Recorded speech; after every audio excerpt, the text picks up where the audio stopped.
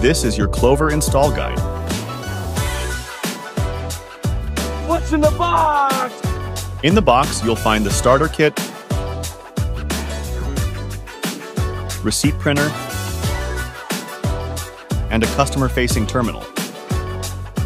The starter kit includes a power adapter, Velcro fasteners, a cable hub, an Ethernet cable, a connector cable, and a quick start guide.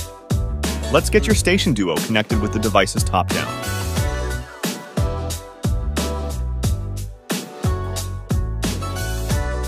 First, attach the end of the cable hub to the top blue port.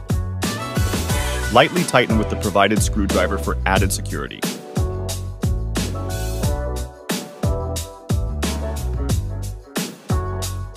Next, attach the end of the connector cable with the green triangle to the port with the green triangle. You'll then attach the power adapter to the hub and attach the power cable to the adapter.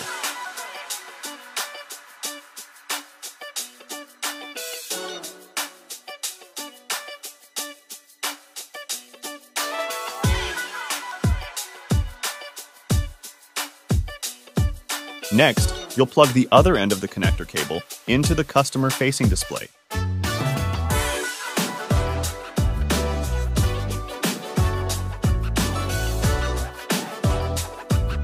Connect the receipt printer to the base of the display using the remaining blue port. Lastly, plug the power cable into your power outlet. After your device powers on, you'll want to check your network connection. If you're using Wi-Fi, swipe down on the top right-hand corner of your screen and press and hold the Wi-Fi symbol.